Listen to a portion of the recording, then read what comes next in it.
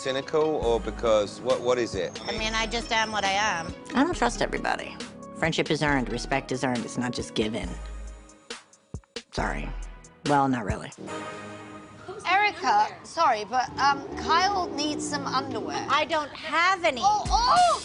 That's right. I don't saw put your that. hands up my skirt unless I you want to see what's up there. Unless you want to get my bit. God. See, don't say, don't push me, Miss my Vanderpump. God. I'll take you there. Oh my God! I but told you that. Why don't you have any knickers on? Because it doesn't look good under my dress. I have on a Mugler dress. Why would I break up a beautiful design with an underwear line, with a panty line? Really?